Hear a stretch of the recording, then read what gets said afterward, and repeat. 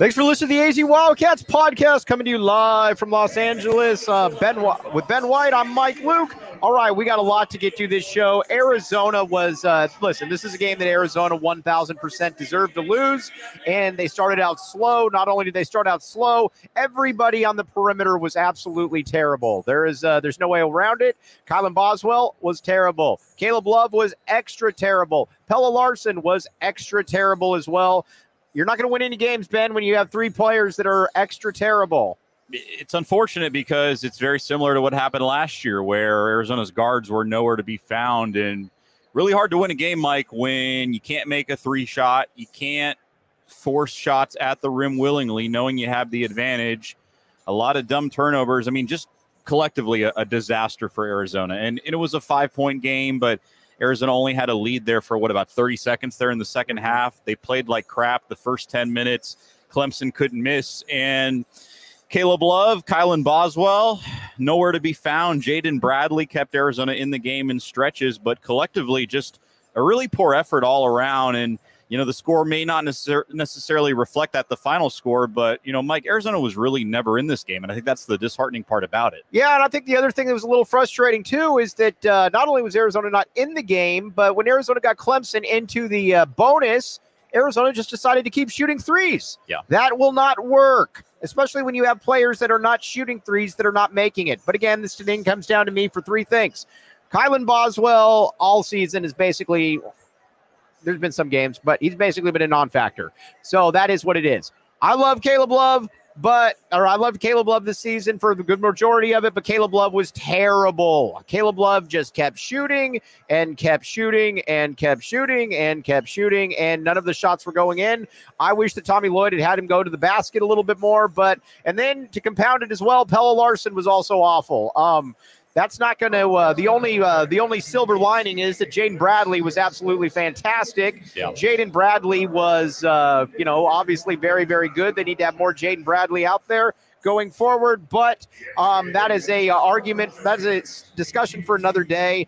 Um, everything was set up well for Arizona to be able to get to a uh, to an elite eight at least, and this did not happen. That did not happen. Not only did it not happen, it. Um, that's that's really all I can say, Ben. It didn't happen, and they were absolutely terrible. That's uh, that, that's that's just the way it is. I wish I could say look, something else, but look, there wasn't. Look, Arizona 100% beat themselves today, and when you looked at the way these two teams matched up, Clemson. Obviously, you've got Hall down low who can make things happen for them. But outside of that, man, you don't really have dynamic playmakers or guards who can take you off the dribble or shoot three after three and and that was what was so just frustrating about the game because they had a number of different guys. Hunter hall you had three guys in double figures two of them not being hall and that can't happen. At one point clemson was shooting what 70% from mm-hmm. three. Arizona was giving easy easy bus, bucket after easy bucket and it, it just was a domino effect and everything went wrong. Caleb love had no confidence whatsoever you know, and, and, and let's be real here. When we talk about the NCAA tournament, when we're talking about a Sweet 16 game, if Caleb Love, your best player, is 0 for 9 for 3, has three turnovers, is as inefficient as humanly possible, the guy could not get a shot going at all tonight. Probably not going to win in March. Right. And I think the team felt that. I think the energy was low because of that. And from a game planning standpoint, I thought it was pretty simple. You had the advantage down low, and when Arizona did go to Ballo and try to get things going at the rim, it worked. But consistently, there just wasn't that taking place. Guards were forcing shots. Arizona did not play well defensively, and this is what happens. All right, uh, we see Rich Carrillo in here. Rich Carrillo, who never played a down of football in his life and who blocks all of us on Twitter and then decides that he is going to continue to do that. Rich, everybody's seen the pictures out there. Rich, you can be. Uh, you can uh, you can buzz off because again you block everybody and you are a fun person. But everybody else that is actually having a, a good time, well, not a good time, but a, a, frustrating time. Let's talk about it here with uh, Arizona with Arizona, I think the one thing that uh, is uh, is fascinating is just the lack of kind of a just the lack of any kind of urgency going Yeah. into this game, Ben. That's where I that's where I was frustrated by every. You know, I, I just didn't expect that in a game of this magnitude. Yeah, and, and look, I mean, that's got to be on the coach, right? That's got to be on Tommy Lloyd. Obviously, he's had a lot of success here in the regular season and has done a number of good things, but Tommy Lloyd's got to take the fall for this one, man, because th- this team was not ready. The energy was not there. Collectively, the game plan I thought was pretty poor. And it just felt like from the get go, when Clemson got going from three, Arizona just had that presence and, and that look to them like, okay, there's always the next possession. There's the next Yeah. possession. We'll make a shot. Somebody will get going. And I think the ironic part about it too is outside of Love, granted, because he did take 18 shots, it just seemed like outside of Love and Bradley, nobody for Arizona really wanted the ball either. I Right. mean, you got the ball inside to Ballo at times and it did work, but Boswell was not there. Pelle Larsson was not there. It, it was just a disaster for Arizona from the get go. I mean, to only shoot 18% from three, and granted, I think the majority of that comes from Boswell, who made that three to start the game. So Arizona was just flat. I mean, that's the best way to put it today. They were just flat. They weren't really engaged, you felt like, just because Mike. I, I don't think we thought coming into this game that Clemson was just going to make so many easy shots at the basket, too. Yeah, I mean, that but- was crazy. But that's also something too that you got to give it into. There, I don't want to say Arizona gave up because they kept fighting, but it felt like Clemson had a really, really good game plan going into this game. Not only did they have a really good game plan going into this game, you can kind of sense early on that they were pretty confident there, and Arizona was kind of caught looking around a lot of the time, Yeah. and that's another thing too that they just kind of were looking around. They were not really. Um, they were. It, it, that that entire part was just frustrating. And again, here, like I said, I'm you know I've been a big Caleb Love guy this year, but I'm also you know I'll take this one on the chin. Yeah. With Caleb Love, the one thing about him is. And what Tommy, I, I don't think ever really did is Tommy never got him to become a player that attacked the hoop because when Caleb Love attacks the hoop, that's when everything becomes a little bit easier for him. He was just kind of shooting threes. And again, the thing I'm going to keep going back to is that Arizona, when they had that capacity to be able to get uh, them into the double bonus, Yep. not only did they get, not only did they decide we're not going to do that, we're not going to do that. We're just going to keep shooting threes. Yeah, and you had a nine minute stretch in the double bonus to your point where you could just go and attack the basket because every time Ballo was getting the ball, for the most part, it worked. Mm-hmm. Johnson was not, I thought, as engaged as he could have been in terms of just getting some easier looks. But yeah, I mean, Arizona completely shot themselves in the foot. And the thing about it, too, is during that stretch, Clemson was without their best player because Right. PJ Hall did have three fouls. Right. So a number of different opp- of opportunities for Arizona. They trailed by 10. They trailed the majority of this game. And even though they got it close, you know, there were stretches where it was a one possession game, Right. a two possession game. It never felt that close. And I think that's what's so crazy about it. And when you look at the stat sheet and what, what happened here, you know, Arizona had more rebounds, they had more points in the paint, more second chance points, more fast break points, more steals, more blocks, and less turnovers than Clemson which tells you they have the advantage about pretty much everywhere on the basketball court. Shooting, defense, inside. With all that said, you still lose this game. That tells me this team wasn't engaged. Yeah, not only was it not enga- not only was it not engaged, it was also this was also a team though that also felt like going down the stretch they were just they just kind of panicked. They just started shooting threes. The only one that really wanted it was Jaden Bradley, and I think Yeah. again that's a little bit of an issue. Is that the with Jaden Bradley is the only one that wanted it. That's kind of the issue there, and I don't really see I don't really see what the uh, what the end plan was for Arizona. Now looking at uh, looking at these stats though, again, people will be saying that uh, well you know uh, you can't win without guys shooting threes or, or you know with guys just jacking up threes i get all or i get all of that but listen when your perimeter of boswell bradley and pella were awful that just is what it is you're not going to Yeah. win that game and i thought it's on to the coach at that point to switch something up and that just wasn't the case Yeah, I mean, th- this game today, a lot, a lot of Stanford type vibes where you, you don't have anything from your guard play. Clemson's doing just enough. They have a really good game plan. You can tell from an IQ standpoint, those players are smart. They knew what they were doing. They picked their spots. And, you know, you got to give them the advantage when it comes to that because they did a good job of exploiting what Arizona was giving them. And, and Arizona just couldn't take advantage of it. They had opportunities time after time after time. And you just couldn't make it happen. And I think that's what really is the concerning part because you have the talent, you have the advantage. You're in a spot where you've had a really nice draw when it comes to the tournament in terms of who you've played, your path to success this year. And I just keep going back to the engagement. It just didn't feel like it was there. Love was taking shots. He was missing everything. And from there, nobody else could really step up. And, you know, you said it earlier in the season, Mike. This team is going to go as far as Caleb Love takes them. Yeah. And let's be honest here, that's what happened today. Yeah, no, it, that, that's just what happened today, and that's not only was that what happened today. It's also a spot where, you know, it just it just didn't look like they were. It just didn't look like this was a moment they embraced, and I thought that would be a moment he embraced. He's gotten to North Carolina to a Final Four in the past, and but again, he kind of he laid an egg. There's no other way to really put it. The other Yeah. thing that I thought was fascinating about this game, and I think that was uh, incredibly frustrating from a uh, from that perspective too, is that Clemson, whenever Clemson had the ball for 15 seconds, they got whatever they wanted. Yeah. From a three point shot to a, uh three point or a, a free throw to a three point shot to in the lane, they got what absolutely whatever they wanted. Ben. Yeah, they did. And I think that's what was really, really concerning from the get go is because we've talked about Arizona when they can what they can do defensively. Yeah, they've had their stretches where from the perimeter they, they've given up more threes than they need to in, in, in games, but defensively, this has been a top 10 team for the Right. last month and a half at least. And all the guards were getting lost. It seemed like, especially Pelle Larsson stood out. I mean, it seemed like every time they switched, Clemson was doing a lot of that. It would just lead to an easy look for Clemson, whether that was at the basket, whether that was from three. There wasn't really the contention there that you needed from Arizona to slow them down. And again, you go back to their game plan. Obviously, I think when you look at what Arizona was going to do, you knew what Hall was going to do.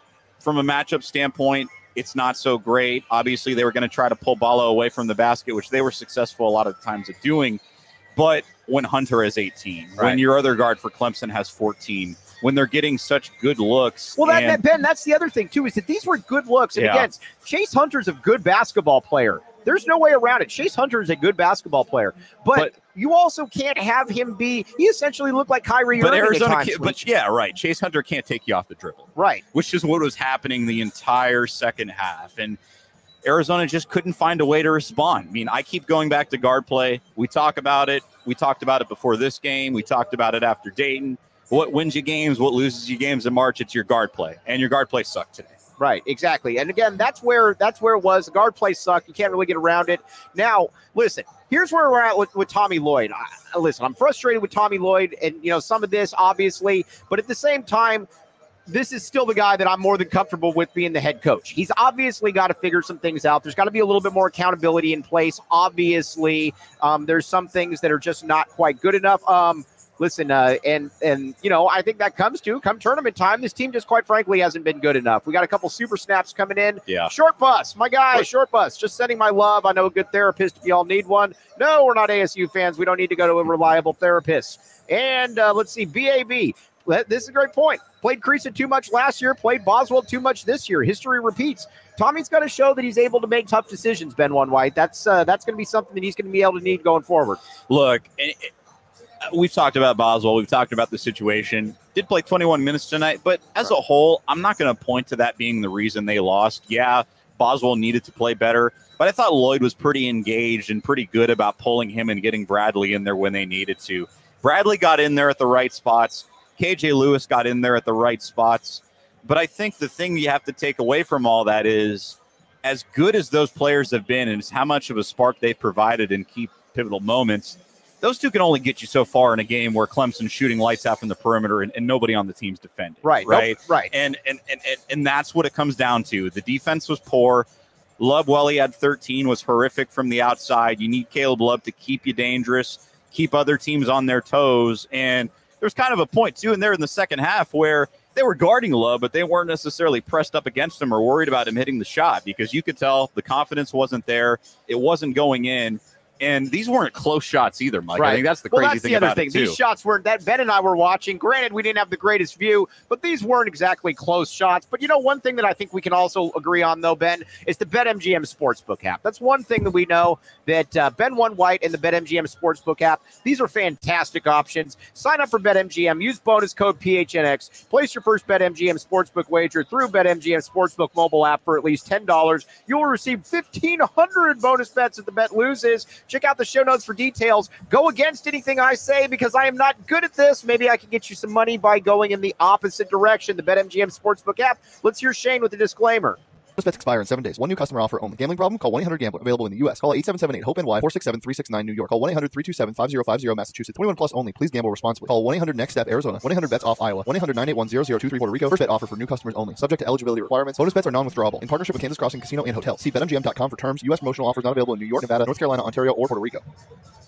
All right, now that's uh, that very very good stuff. Now let's talk about uh, let's let's talk about uh, this team, this program, and where it's going forward. Listen, Lloyd obviously has a style of plays, recruiting well, but you're also going into a conference now where you've got some big. This is a big boy conference you're going into. This isn't the Pac-12. You're going to have to have dogs. And one thing that I think that we saw is that when you have do- when you have dogs, you know you've got a couple on this team. KJ Lewis, Jaden Bradley are dogs. These are guys that embrace the moment. These are guys that want the big moment. This is something that Arizona is going to have to re- freely embrace going forward, Ben, because Jaden Bradley to me has to be that dude. He was the only one out there that really wanted it. Not only was he the only one out there that really wanted it, he was the one that you're like, all right, we can build on him. We can build on his toughness. Well, and you start having the conversation too with him and, and, and what it looks like going forward for Boswell. If he's going to be even be here at Arizona, what his role is, because I'm sorry, man. I know the kid's young. I know he can do some good things when he's at his best, but the last two months, the bad has outweighed the good. Right. I mean, that's just the reality of it. I mean, when you look at his game log, when you look at what he's done the last few games, the 20 point game is there. I get it in the first round of the tournament, but before that, four points, three points, Right. seven points. Just the inconsistency is, is there. And, you know, you're going to go as far as your point guard takes you. And when you don't have a good foundation, I think as a number one, I get that it worked out in a way that Bradley can come off the bench and he's probably a lot better and came along further than I think this program expected. Yeah. And they needed that. No doubt. That's all good. We're not disputing any of that. But when you're going to be a team that's contending for a Final Four, for an Elite Eight, there can't be any questions or, I guess, gray area to your point guard spot. You have to have a solid guy. You have to have a guy who you can rely on to score, to defend, and consistently be there. And Boswell has shown at times he can do that. But the problem Yeah. is when you're not consistent, it doesn't matter Yeah, in March. And you know what it is too. And I and again, I don't want to beat up the kid. I know he's 18. I get all of that. But at some point, you also just got to say that he wasn't good enough this year. And when I say he wasn't good enough, again, that's nothing personal. I'm sure he's a great kid, but he was not good enough. He did not like the shots he was taking today. The air ball to start the game, and then the four or five. That's just that's just not going to cut it. Again, Yeah. Caleb Love, Pelle Larsson were absolutely terrible. Totally get that. They're moving on. So there is that. But if, if I'm looking at this point guard spot, I can't have a point guard coming back that doesn't want to shoot the ball and is Yeah. essentially a huge liability out there. And that's exactly what that's basically exactly what the case was out there. Yeah, and not only does he not want to shoot the ball, teams know he's not going to shoot the ball. Right. And I think that's the big concerning part about it is because defensively, your opponent, that's a big weight off their shoulders taken, knowing that all they have to do is is stop Arizona really from the basket and limit love. And that's all they had to do. Clemson, look, they didn't have the athleticism. They didn't really have the size. Paul's uh, Paul, Hall's your best guy down low, but outside of that, I mean, who was going to stop Ballo and Johnson if Arizona attacked the basket? And you know, we keep beating a dead horse with it, but this game was lost in that nine minute stretch where the double bonus occurred. You had the opportunity to go inside low and, and take advantage of that when Hall wasn't in the game, and they didn't do that. Right. You know, I think you know we kind of joked at that mark and we said Arizona shouldn't shoot a three, and in a weird way we were kind of serious because it wasn't falling. You couldn't Right. rely on your guards, and you needed Johnson and Ballo to take over the game, and that just didn't happen. All right, now we're going to get to Terrence Wilmore, the great TJ Wilmore, who knows a lot more than I know about anything in life. Now, let's talk about, first of all, the AZ Lotto. All right, Arizona Lottery. Arizona Lottery.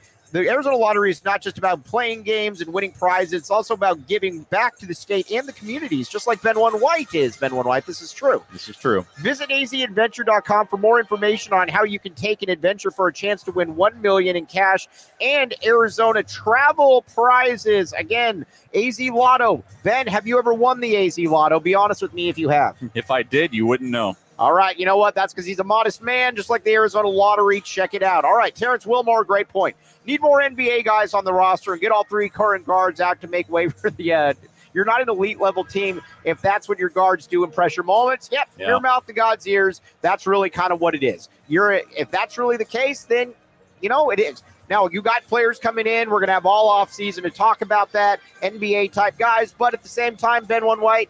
that's also that's a good point. If you're an NBA, if you're a uh, point, if you're a starting point guard at the U of A, you should probably be somebody that the NBA people have a radar on. If you're a shooting guard, a small forward, that should be the case as well. We got Jamari Phillips, we got Joe Song, we got Carter Bryant. We got all off season to talk about that. Yeah.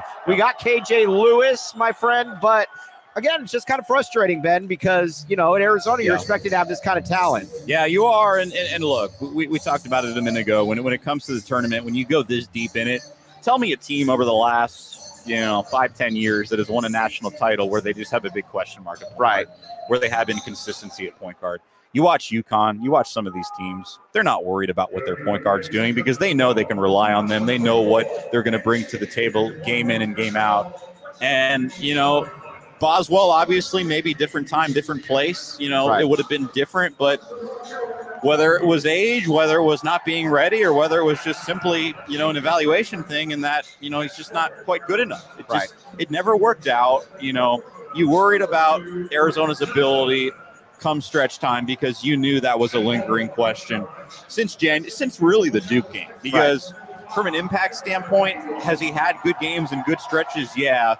But you need a difference maker. You need a guy who's going to make an impact. You have to be able to look at your point guard and say, okay, this guy can be the reason we win and come over the hump. And today was a perfect opportunity to show that because Love was struggling. He's obviously a two. Ballo, while I think did good things when he got the ball, he certainly wasn't involved enough, I thought. So who you got to turn to? You got to turn to your point guard.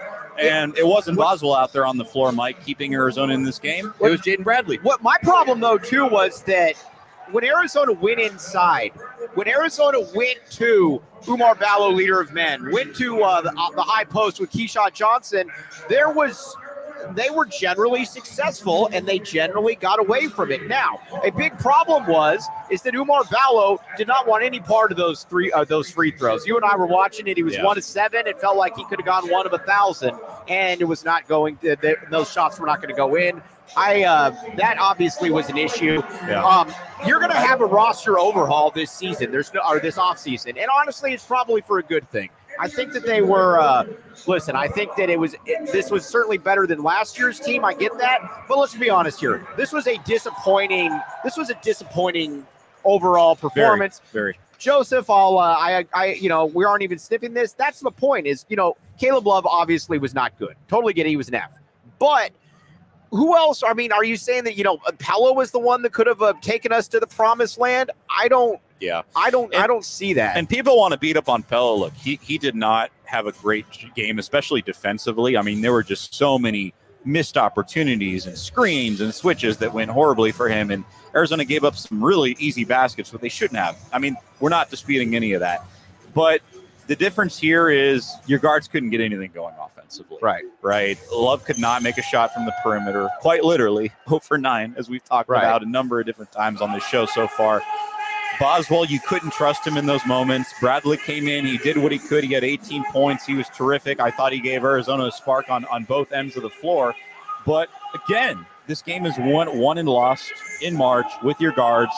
Arizona's guard play, and Arizona's best player was not good enough today. I Yeah. mean, that's the bottom line. I mean, you know, look, Tommy's left nut in the chat here is blown up about the whole thing. Yeah. Let's with, get. Let's get. it- to, let's get it- to it- that. it's a valid point. It's a valid point, right? Because I thought that putting Johnson on Hall was a nice thought early in this game, right? Because you kind of think, okay, well, let Hall go off and get his. But at the same time, with the way the game played out from the get go, Clemson's guards were going to make shots. They were scoring points. And at that point, I would have liked to seen Lloyd make that adjustment, but it was kind of too late by the time they did that. Yeah, it was too late to make that point. And again, I don't understand too. And this is still, and again, we appreciate all the compliment or you know the, the listen as Arizona fans. This is what we sign up for. We wouldn't trade it for anything. Obviously, Dennis Walsh, uh, super snap, Dennis Walsh. Mike, thanks for all the hard work, analysis, and good humor. humor. You make the back the A experience 100 times better. That's what we try to do around here. But let's get to uh, TLN. TLN. All right. TLN. We're going to talk about this. We're going to read it because TLN is in every stat, every chat, and we very much appreciate TLN. I will post this a million times until it's acknowledged. Tommy is horrible. Why the hell was Ballo not guarding Hall? It created a mismatch in Clemson's favor. Why the hell were we? There were so many threes. I can't argue with it. Yeah. Everything you said, except for the fir- the second sentence, I agree with. Listen, he's not horrible. He's obviously got to make some real adjustments, though. There's no Yeah. doubt about that. You've got to make some adjustments. I don't, you know, I'm you're not going to get that dispute from me. Yeah. But at the same time, at the same time, I also think that it's fair to say that um, he's still, again, this is third year coaching. I get all that. Nobody wants to hear that excuse. I get it. I get all of that. But at the same time, he's recruiting well. He's winning games. He's also got to get a little bit of a tougher side. I don't think that they're, you know, I'm not really breaking any news there. He's got to get Yeah. a little bit of a tougher side. You got to be able to pull guys and not play guys when they're playing well. It feels Yeah. like, you know, with this Well- team especially, it felt like there were a lot of charity minutes that were going around that I just don't get. Right. And and I'm just using this as an example. I don't want to bash Boswell per se, but when you talk about toughness and when you talk about accountability, uh, we, we all know there have been some issues with him throughout the season from a behavioral standpoint. Vegas is no secret. You've all seen the pictures. Right. And, you know, I've put it out there and we've talked about the fact that, you know, maybe you make that adjustment where you put Bradley in that starting lineup just to send a message Right. right? Because the way this team is constructed, you know, you're going to be switching a lot of pieces. So the starters don't really matter per se, but I just thought that message was never sent. Yeah. And it's not Lloyd's fault entirely, but I'm sorry, man. When when you're in the Pac-12 tournament, and granted, look, how much does it mean for the NCAA tournament?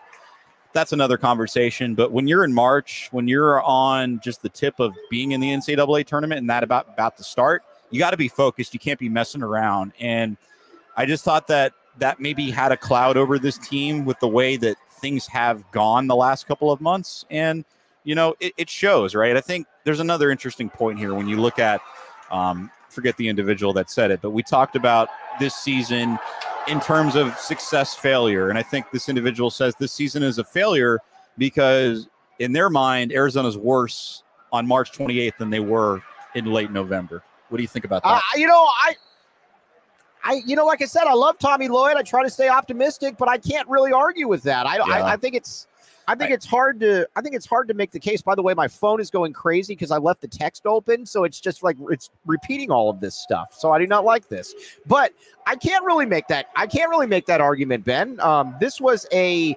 This team was this team was not as good two months later as they were now, and you know, Yeah. uh, I, I, there were obviously some warning signs in play. They didn't play. We're playing well in the Pac-12 tournament. That was obviously a that was obviously an issue.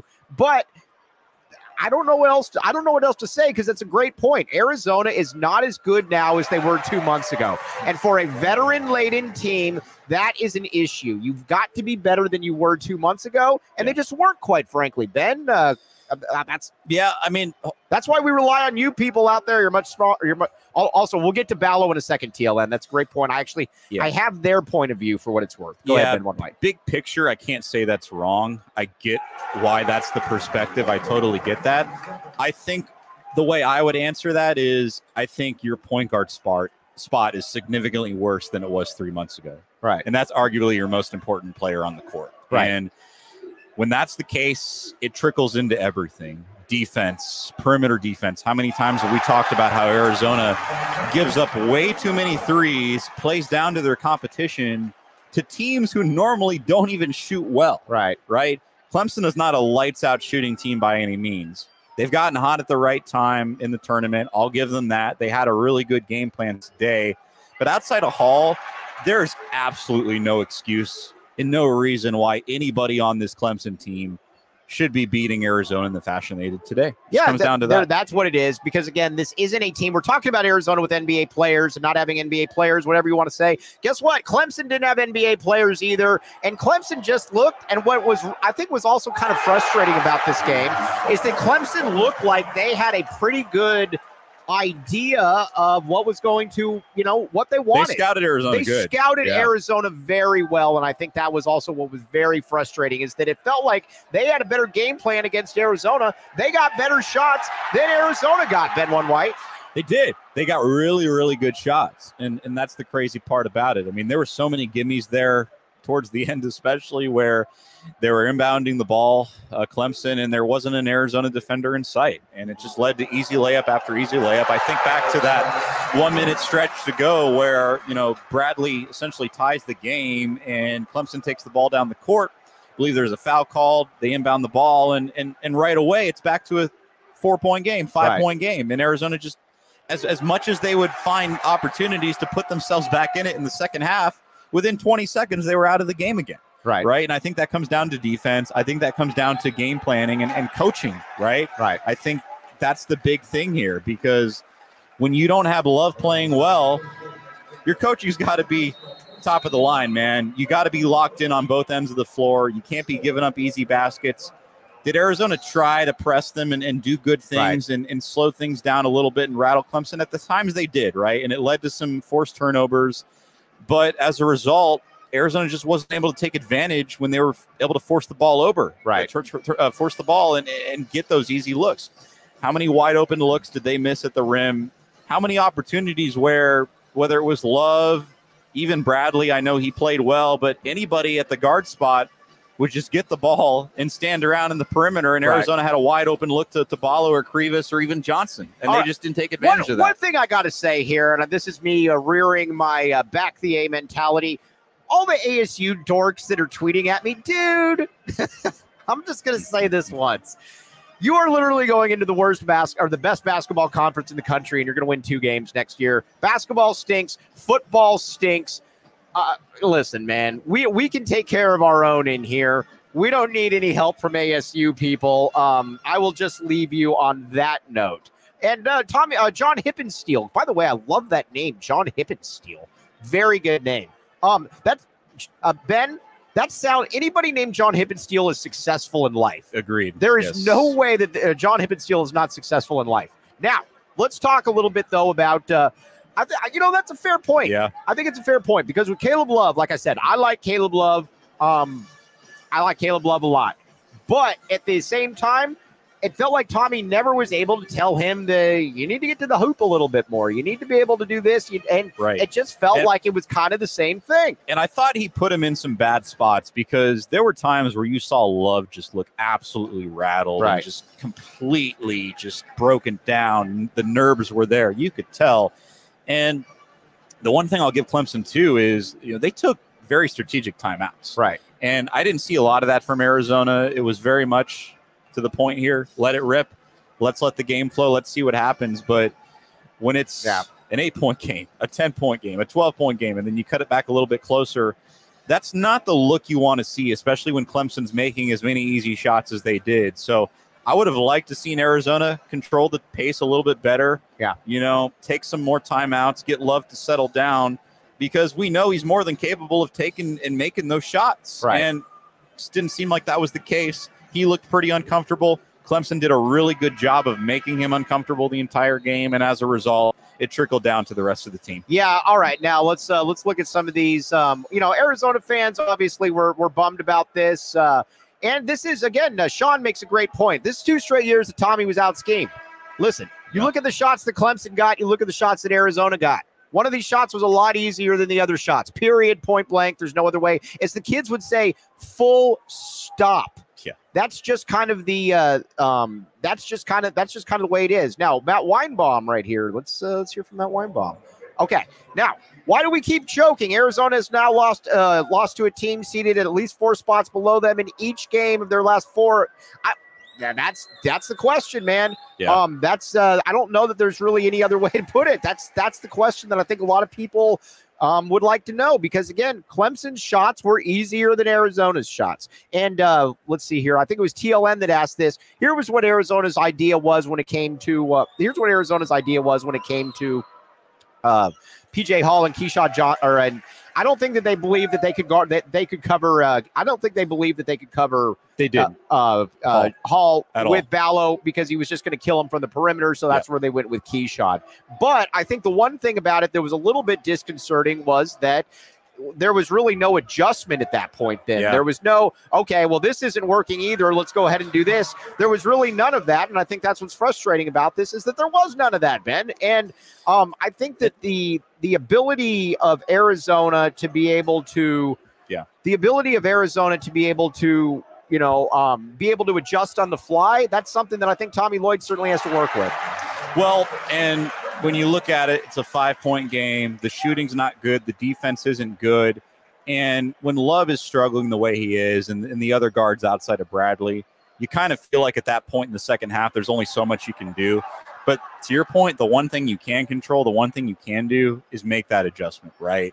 Slow haul down, get easy looks at the basket, get the ball to Ballo. But the problem, as we know with that too, and I get it, is it's going to get fouled. And when he gets fouled, he's not going to make his free throws. Right. So it's kind of a catch 22 with that. But yeah, Arizona was just one thing away. If they would have corrected one thing, I think they squeeze out. You don't feel great about it, but a couple of more threes, Right. right? Maybe going to Ballo a little bit earlier on Hall because he was in foul trouble in the double bonus, attacking the rim, Mm-hmm. Right. trying to get to the lane. And I'm sorry if it's not Ballo or Johnson, it's got to be Love or Right. somebody in the guard spot. Right. You have no excuse and no reason why you couldn't get to the rim and get more easy points. Yep. There is no. They- and they just didn't do it. We got Saul Bookman coming up here in a second, but first, uh, let's see here. What do we want to get to? You know what I think there was? You know what I think I noticed early on, Ben? It didn't feel like these guys went to Circle K. Now, Clearly I don't know for a fact they went, didn't go to Circle K. All right, this is getting annoying. The Sun Devil thing. Um, Circle K.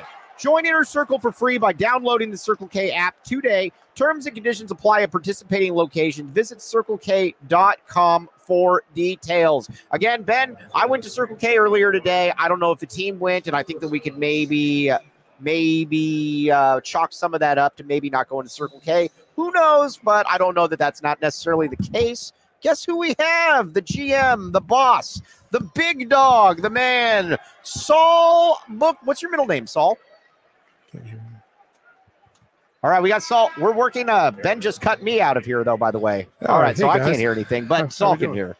All right, Saul, Thoughts? Uh, I mean, I want to say this is just something we're all used to, but man, it just it still hurts each and every time. You know, Right. Uh, that's that's the biggest thing. Yeah. Uh, sitting there courtside, I had a different perspective than I think what I was seeing on Twitter. I just listen, man. I I, I didn't think U of A played bad. I just thought that they couldn't hit shots for anything. Right. You know, and yeah, they had a couple breakdowns at the end of the game, which is unfortunate. But I thought overall they they tied it up several times, had a chance to win this game. They just I you got to credit Clemson. They hit big shots, uh, and every time they, we made a run, they answered, and you can't hate them for that. Like I everybody's you know I I, I see everybody hating Tommy and. You know, oh, we got to fire him. Uh, First of all, uh, you, you be careful what you wish for because, yeah, you've got lucky with two other coaches Right. and Sean Miller and, now Tommy. There are Kevin But- O'Neill's out there. I tell you what, there's Bobby Hurley's out there too. You know what I mean? So I just listen. He, I, I just got out of the press conference and and he's walking by me as I'm about to hit the elevator right now, and we caught eyes. And he looked at me and he just kind of shook his head. He was just like, and he, and you you could tell he was upset. And he just Right. said it just wasn't our night. You know, Right. like and you could see that he was frustrated and. Oh man, that just What- fucking hurts. I- it never gets What- easy. the thing that I didn't understand, and granted, when you're the boss, you get to sit courtside as you deserve to. But Saul, the one thing I didn't get is this: Arizona gets Clemson into the bonus with about 11 minutes left, and they kept shooting threes No, that weren't yeah. going in. How in the world are you not attacking the basket? So the the head coach of Clemson, oh, I forget what his name is. Brownell. Yeah, yeah, Brownell. He said that they had to go zone because Arizona was forcing contact. They had to go zone. They backed into the key uh, and wanted to force Arizona to shoot threes Right. because they hadn't hit any. Right. Yep. So like. I mean, it, they they were open shots, guys. That's like that's all I gotta say. It's not like they, you know, Caleb Love threw one footer in the first half that I was like, "What are you doing?" But outside of that, Right. they were wide open shots. They were quality shots. They just couldn't hit. You, you know what? Here's what it comes down to, and Ben and I were talking about this. Kylan Boswell, Caleb Love, and Pelle Larsson all had bad games. Yeah. You're not winning those games. If you all play, I, I think the stat was, I don't have it in front of me now, but something like five of 29. If those three guys go five of 29, guess what? You're not winning that game. Now, you could say, well, we need more out of that. You're probably right. But at the same time, if you go five of 29, that's just not, you're not winning that game, man. Yeah, yeah, you're you're not. Uh, I just again, I could they have gone down low a little bit more than they did? Sure, they they could have, um, but they were trying to drive. Mhm. There were several times where they tried to drive, and every single time Clemson would try to throw doubles, or, or they would they would double up the guy that was penetrating. Um, so you have to kick it out because that's the right basketball play, right? Like you can't train these guys to play differently than they have all season just because they're not hitting shots from the outside. You got to shoot them, and maybe you're looking for better shooters next year, obviously. But man, it was All right. It, it was tough. All right, again, I'm going to say this one more time for the ASU people that are in here, dude. You guys, you guys are. Can I can I say something? Of course, I'd love for you to. Listen, uh, ASU has absolutely nothing, absolutely nothing to add to this conversation. They're the most pathetic program in all of sports. They can't win anything, and their only saving grace is to watch us, who continually flirt with success, Right. fall on our face. Right. That's all they have. Right. If we win a national championship or we get to a Final Four, like what happened in '97, they got nothing to say. Yeah, nothing. You know what I mean? And They- so all they can do is just revel in everybody else's misery because they have their own misery that they have to deal with constantly, and they have a whole school and a president that doesn't care about them athletically at all. So they've basically given up hope, and they're sinking all their hopes into us losing. All right. All right, we got a super snap here, a very generous super snap, a $50 super snap.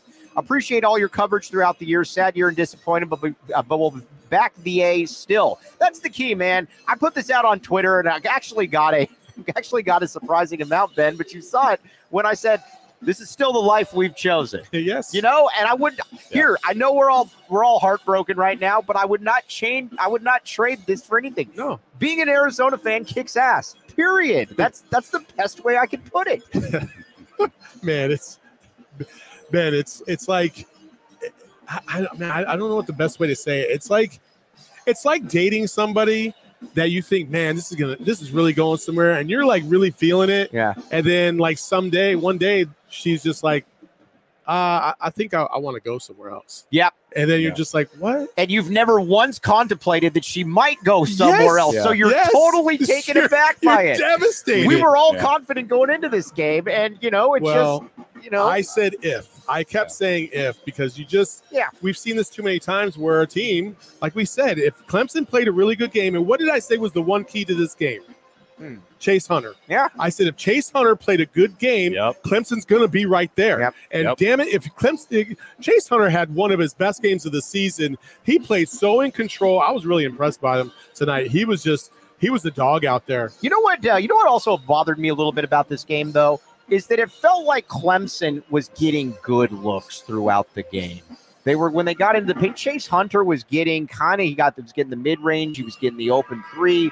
It just felt like he was. A, they were getting good looks. It felt like it, and it didn't really stop. It felt like if they worked it around, they were going to get good looks. They also got a lot of bounces. There were some bounces tonight that I was just like, you got to be kidding the me. bank three the head on bank from three, Schieffelin. the, the shot. So from my vantage point, Schieffelin threw a shot up and it hit the left side of the rim. And I was like, oh, it's going to bounce off left. Right. And then it, it had this weird spin to it, bounced off the glass and went in. And I'm like, it's that kind of night. Right. Yeah. Sorry. Yeah. So I mean, yeah, it was just it's one of those it's one of those nights. I think we're also finding out too that the ACC is actually.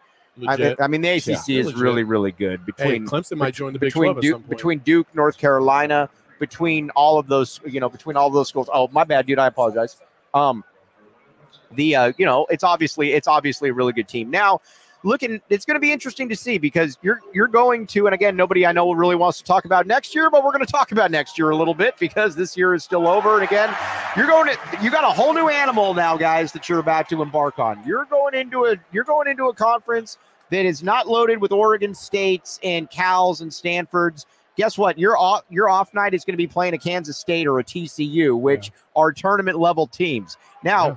I'm excited for it. Arizona fans, you're going to drop more games. There's no what there's no what there's no way to put it. You're Yeah. going to drop more so games. don't panic and try to fire Tommy after every single loss. Right, exactly. But I think the hope, fellas, is that you're also a little bit more battle tested when you go into those games because there is no games that you can take off. There's no I can bring my C performance and get by Stanford or Cal Yeah. or whatever. Because guess what? You bring your C performance for your K State, fellas. Oh, Guess yeah. what? Yeah. You're not going to probably win that game, guys. So I'm cool with that in that aspect for sure. I Go ahead, Ben. Well, and, and to that point, there's no sleepwalking, right? So you talk about the struggles at point guard. You talk about the sleepwalking at Stanford and Oregon State in some of these games. You can't have that. But I mean, to Saul's point, when, when all this happens, it's really hard to win a game, right? You can't make a shot. Seems like you couldn't stop a shot, even when you got some def- decent defense on Clemson's guards. It just didn't seem to matter. And when you have a combination of all these things go wrong in one night, this is what happens. I mean, we've talked about those three Boswell, Larsson, and Love. And when you got all three guys just playing complete flat games, it's just not going to happen. I don't care if it's the first round. I don't care if it's the Sweet 16. Yeah, It- it's it's if you look at the stats, it's it's unbelievable that if you looked at those stats normally and you didn't know what the final score was, you would think that Arizona won. Right. It might not have been a big win, but you thought they Right. dominated the boards, they dominated the paint, right. they dominated fast point uh, break points. Like Yeah. it was all there except the threes, and the threes is the e- the ultimate equalizer.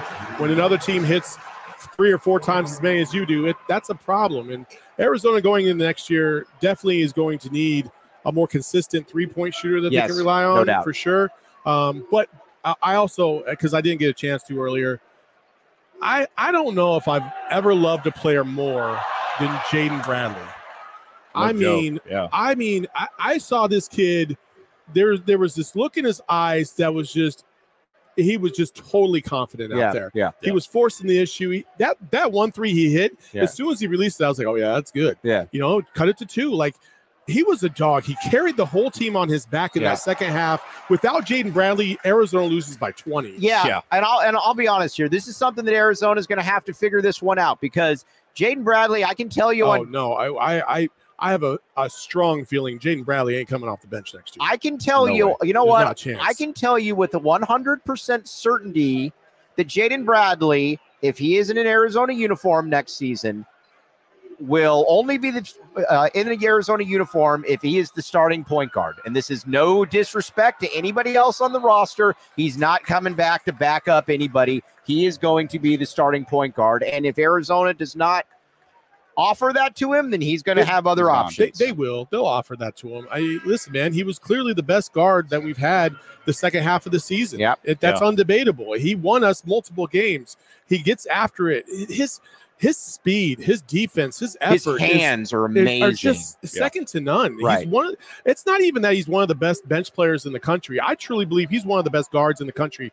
Period. Regardless if he comes off the bench or not. And I can't wait to see the growth uh, from from him in next year. Right. And and it, and I just Tommy, listen, Tommy's going to give him the reins, man. He just is. And there's going to be a bunch of freshmen that come into the fold, and it's going to be up to Kylan Boswell on whether or not he wants to be that off guard right. and, or combo guard with him or uh, transfer out. But it, it- but Kylan does have that at his disposal. Mhm. He's got to step up his game. He knows he does.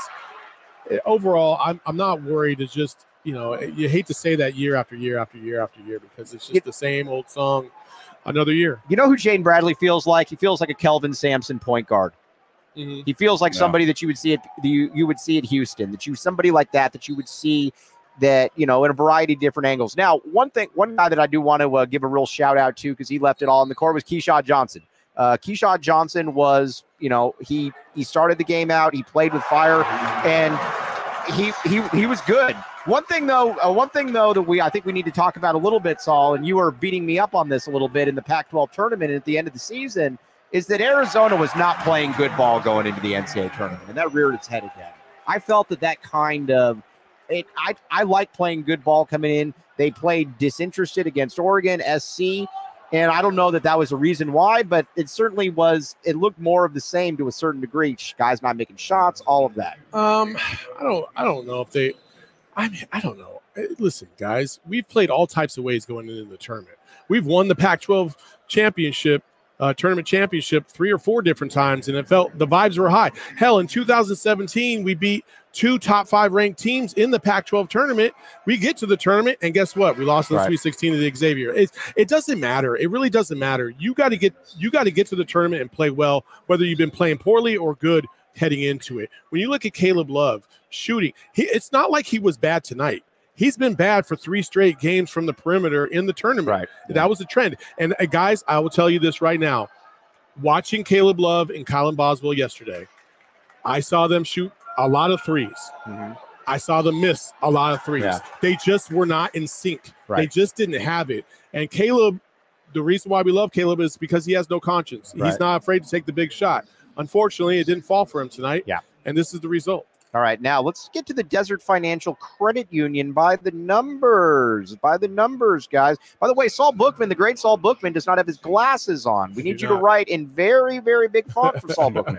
All right, here's the Desert Financial Credit Union by the numbers. But first, This segment is brought to you by Desert Financial Credit Union, Arizona's number one credit union named by Forbes. Saul Bookman, you use Desert Financial Credit Union. This is correct. I do. All right, here's what we got right here. The, uh, you shoot 17% from three point range. That's generally not a good shot, uh, sign. You give up 12, uh, you know, 12 points on the uh, field goal percentage. Not a good sign. I think where it was interesting though is that you got 10. Uh, you rebounded. You you kind of controlled the paint when you really wanted to control the paint there, guys. Yeah, the only the only thing that was the negative was the second chance opportunities in the second half that Clemson kept getting, uh, just inopportune times. It felt like it just felt like every time Arizona was on the cusp of a run, they would get an offensive rebound and get a score, and it's just that, those are just brutal. Right. And what's what's difficult about something like that too is when you're playing from behind, and you guys both know this. When you're playing from behind, you expend so much energy to be able to get back to where it's tied, and then it's just difficult when you're playing from behind the whole time to really be able to go back and take that lead. And you saw that Arizona was able to get it tied a couple times, and then Clemson came right back with a five point run, something like that, guys. And that's that. You know, that's uh that that's always going to be a little bit of an issue. Um, now listen, Arizona, we got all off season to be able to get into this. Uh, Arizona's got a top five recruiting class coming in, and that's something too that I think people need to understand. Listen, um, you know, obviously people are frustrated with the loss, but Tommy Lloyd, look around college basketball right now. He's in his third year as a coach. Who would you, for the next ten years? There's not a lot of guys that you're going to take over Tommy Lloyd. He, again, he's still learning, but people, you got to remember too. This is a, he's in his third year as a head coach. That's what I'm saying. Yeah, Like there is a learning on the job, Right. here. no doubt. And, and everybody's listen. Everybody's so quick to make a, a decision. It's not like this team was egregious all year. It's not Right. like they were a national championship or Final Four hopeful, and then they went and and went like you know eighteen and nine in in the season or anything Right, like that. yeah. Like they're a really good team. It's just unfortunate that it falls like this, and sometimes it does. And you hope that at some point they're going to be able to overcome. I truly believe they will at some point.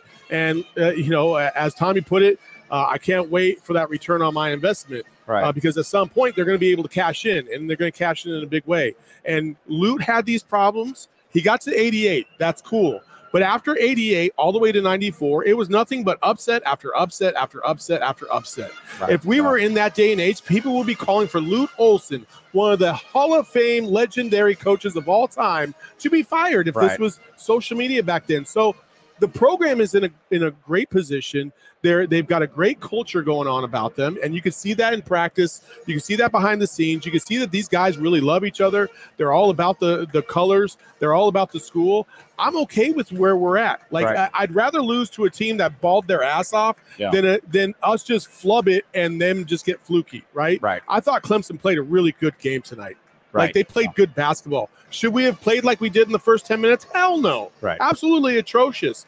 But I still didn't think we still had a chance to win. And Clemson just, they played a little bit better tonight. And I'm okay with that. Yeah, let's see here. Um, now, you know, that's a good point. Listen, and again, when, when Saul's comparing Lute, Lute's one of the 15 best coaches of all time in college basketball. So, you know, obviously, I don't know that Tommy will ever reach that, but I will say that, you know, at some point, um, some point you would your hope they're going to break they'll break through with some now Who's got the most co- uh, who's got the most wins as a, as a as a coach in the first three seasons? That would be Lloyd. Tommy Lloyd. that would be Tommy Lloyd give me Kellen Sampson any day please well I prefer Kelvin Sampson. I Sampson like Kelvin but Sampson. yeah I like Kelvin Sampson Kellen more is his evil twin. But keep in mind, uh, Kelvin Sampson. Well, I don't know how long he's been coaching, but Kelvin Sampson has been coaching for almost uh, 35 years as a head coach.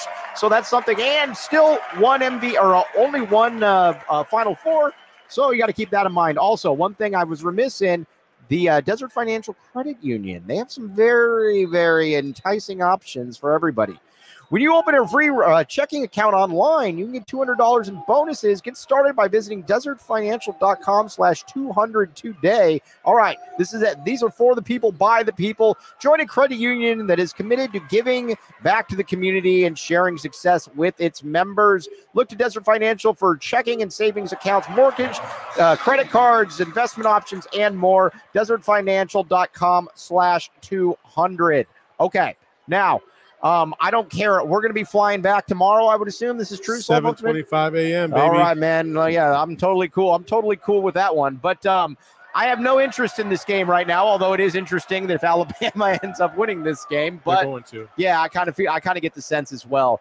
Um, but you know, it, listen, at the end of the day, this was disappointing. I thought that everything was kind of uh, everything was kind of set up for Arizona, and not only was uh, it set up, this was a Clemson team. Arizona's an eight-point favorite against. Um, they hadn't played their gre- ba- aggre- greatest ball coming into the uh, tournament.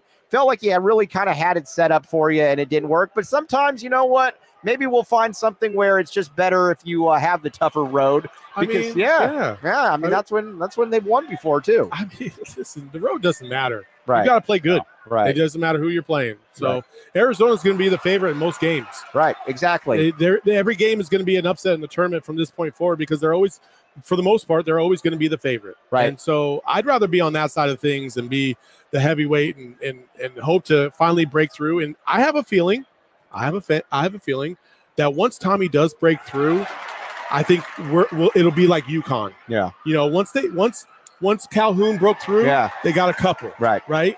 And the program has won more cha- Right. national championships in the last 20 years right. than Duke, than North Carolina, than Kentucky. Yep. Like Some of them all at some point, that's going to be us. Yes, and by the way, UConn is disgustingly good this year. Yeah. What they do, they just demoralize teams, and that's uh, that's something. By the way, I'm very bummed we don't get to have. Uh, oh, by the way, we've got football though, because we are a football school as well. We are going to be getting hot and heavy into this as well. Ben, all right, guys, let's wrap this one up here. Ben, what are your thoughts? Saul Bookman, and then I will get my last read in Empire Flooring. That's called a tease. Look, it, it's obviously disappointing. We've talked about the shooting woos. Arizona was not able to make a shot.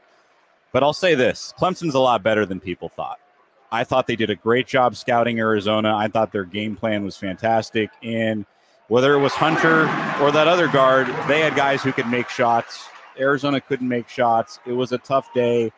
But I think what was really frustrating is you look at the finish, it was a five point game. And while Arizona did cut it close at times, they never quite got there to take control. And you always felt like, are they one three, maybe two three, maybe an adjustment away from tying the game or taking a little bit of a lead and squeezing out of this? And that didn't happen. It was a teaser, but it never happened. And look, these games are tough. It's going to happen. You're going to be playing a good team at this point in the tournament, regardless of if you're a one seed or a two seed. It happens. And look, the future is bright. Tommy Lloyd isn't going anywhere. The caliber of player that Arizona gets is not changing. And with all that being said, I have a hard time believing Arizona is not close next year or at least headed in the right Can- direction. You can't dispute any of that. All right, I just want to say one thing, and I'm going to let the boss have the last word. Actually, no, let me get the read in. I'm going to have the last word. But here's what I think some people need to understand. I get people all the time that'll come up to me because I argue with people on Twitter all day, and I get people that'll come up to me and talk to me. This is still sports at the end of the day.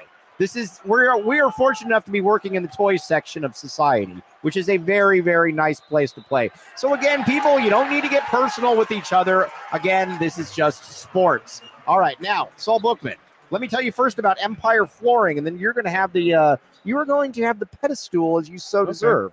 But first, Empire Flooring. Saul Bookman, you have great floors. Yes, I do. You do that. Uh, let's let's be honest here. Very very good floors that Saul Bookman has, and Empire Flooring. I'm sure had a little bit of a hand in that.